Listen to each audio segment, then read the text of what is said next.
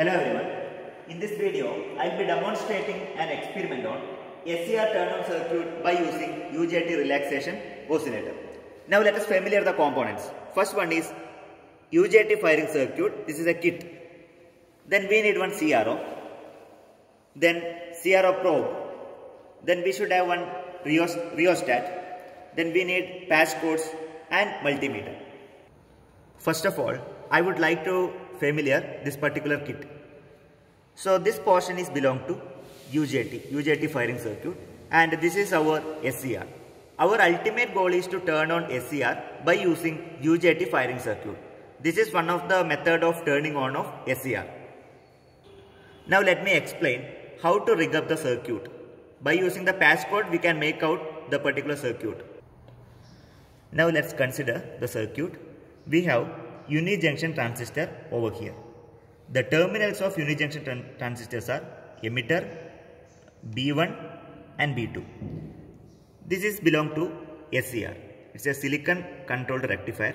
It is a controlled device. It is having three terminals, anode, cathode and gate. So, so you need to do the connections as per the given circuit diagram.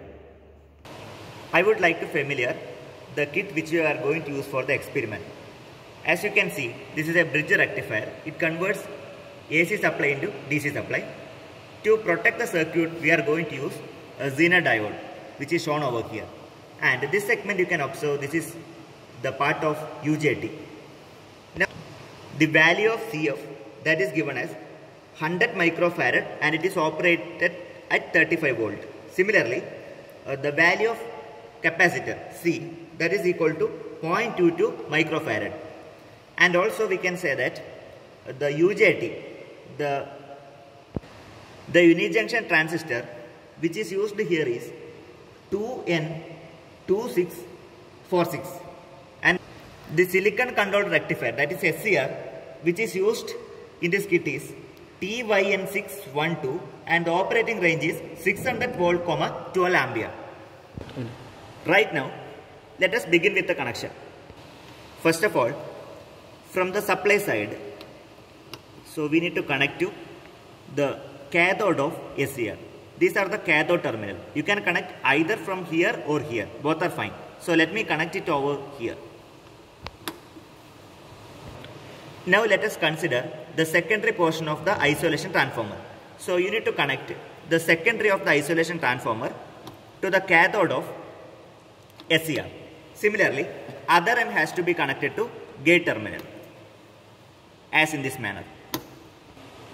Now, one end of the supply that should be connected to rheostat.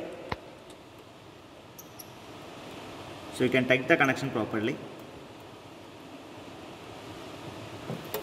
Moreover, other end of the rheostat, there are two terminals. One already been connected, other terminal should be connected to anode of SCR. Either you can connect this point or here, both are fine. So let me connect it over here.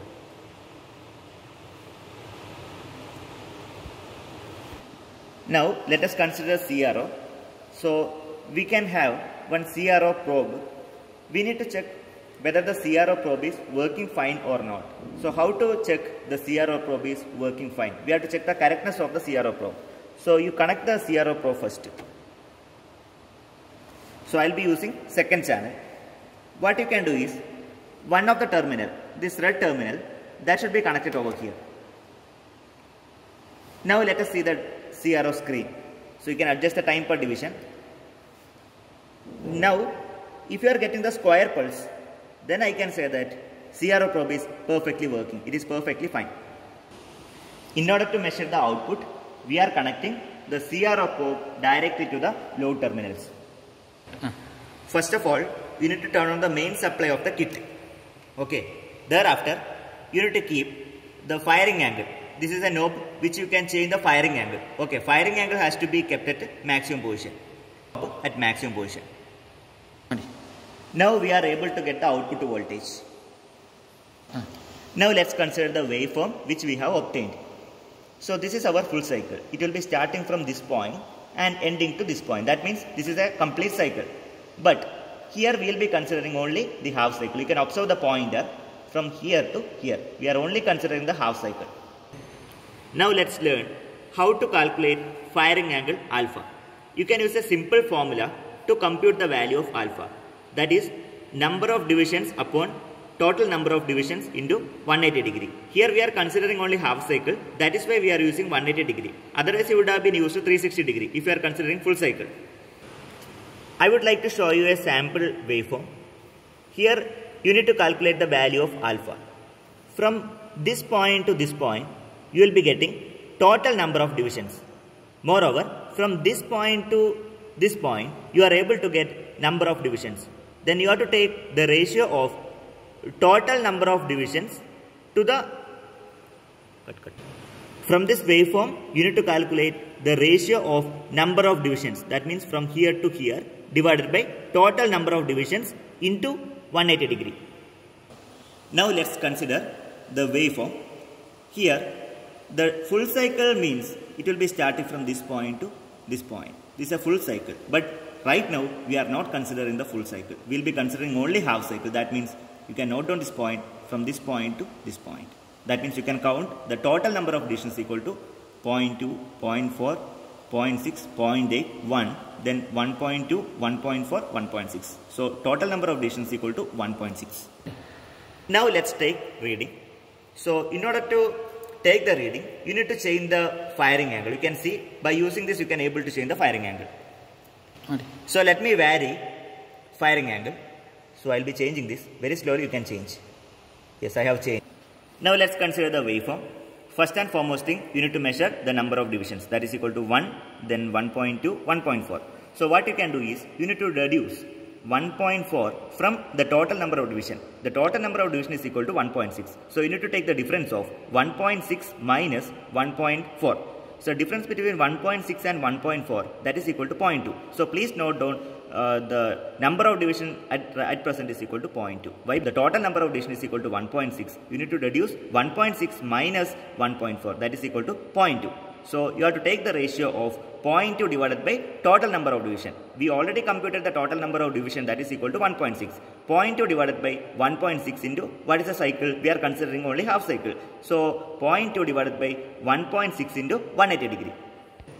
Now let's calculate the value of firing angle alpha that is equal to number of divisions. We have computed as 0.2 and 1.6 means total number of division that should be multiplied with 180 degree. Since it is a half cycle, we have to multiply with 180 degree. Then you will be able to get the answer that is equal to 22.5 degree. So this is the firing angle alpha. Ready? Uh. At the same time, you are supposed to measure the voltage across uh, the rheostat that is VDC, actual value of VDC. You can note down the actual value of VDC with the help of multimeter.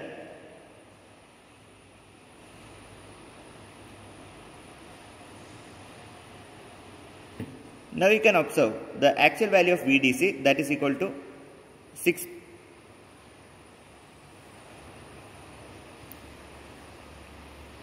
The actual value of VDC equal to 6.84. You can note down the particular value. Reading should be tabulated. So we have measured the actual value of VDC that means voltage across the load that is equal to 6.88 volt and firing angle we have already computed that is equal to 22.5 degree. Similarly, we need to calculate the VDC by using the formula. So we have to verify the calculated value of VDC and the actual value of VDC. So we already computed the actual value of VDC. Now we have to do the calculation. How to calculate VDC by using the formula. There is a formula that means VDC is equal to Vm divided by 2 pi into 1 plus cos alpha where alpha is known as firing angle. Now you can vary the firing angle. You have to take different reading. Now I will be changing the firing angle. You can observe here. Now let us consider the waveform. So we need to measure the point from this here to here. That means uh, 1 then 1.2. This will be 1.2. So I need to calculate what is the number of division. Number of division is equal to 1.6 minus 1.2. That is nothing but 0.4. Now let us calculate the value of alpha for the second reading. That is equal to number of division that is 0.4 and the total number of division is equal to 1.6. 0.4 divided by 1.6 into 180 degree. That is nothing but 45 degree. At the same time, you need to measure the voltage across the load. That is equal to 6.31. You can measure with the help of multimeter. Same procedure. Uh, you have to repeat the step till the firing angle that is equal to 180 degree. You can vary the knob and you can verify. Same manner you have to take. So we have computed VDC that means the calculation of output voltage by using the simple formula Vm divided by 2 pi into 1 plus cos alpha. Here how to take the value of Vm. We now let us use the multimeter.